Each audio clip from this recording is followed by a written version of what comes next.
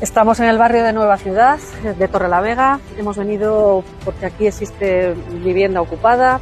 porque aquí una familia de, de, gente trabajadora está sufriendo el drama de la ocupación y desde Vox tenemos muy claro que hay que luchar, que hay que introducir medidas para evitar este calvario que pasan tantas familias y esas medidas pues consisten por supuesto en, la, en el desalojo inmediato en 24 horas de una vivienda ocupada, en que exista más vivienda pública, más vivienda social y que además eh, se bonifique el acceso, que,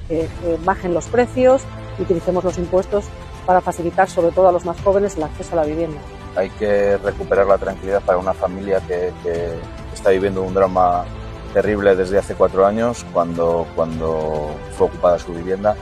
y los ahorros de toda su vida destinados a tener una jubilación tranquila pues se han convertido en un infierno. Yo creo que los vecinos necesitan recuperar esa tranquilidad